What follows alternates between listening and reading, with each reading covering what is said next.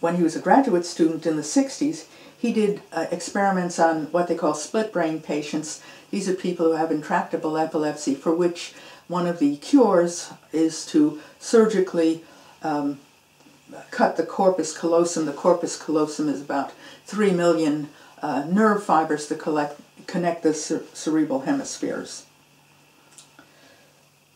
And what he found out is that he was able to examine each side of the brain separately. And what he found out is that the left side of the cer cerebral cortex is the part of the brain which he calls it the interpreter. It's the intelligent part of the brain. It's the part of the brain that can connect things on the basis of sequence, it can connect things on the basis of similarity, cause and effect, uh, of, of uh, contingency in time and space.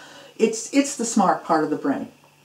The right, the right hemisphere, although it's gotten a lot of, uh, it's been touted a lot in psychoanalytic circles, is not very bright. It's very important, it's, but it's not very bright. Now, one of the things that he describes in some wonderful experiments, they're so, they're actually kind of fun and funny. But one of the things he describes is that the left hemisphere comes to conclusions on the basis of knowledge that it has, information that it has.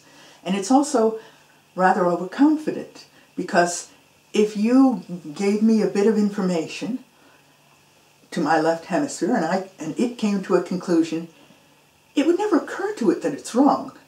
It would never, it doesn't question itself. It just thinks, well, that's the way it is. I figured it out. And sometimes when it can't figure something else out, they just ah, stop thinking about it. It's stupid. So the left hemisphere is very satisfied with itself.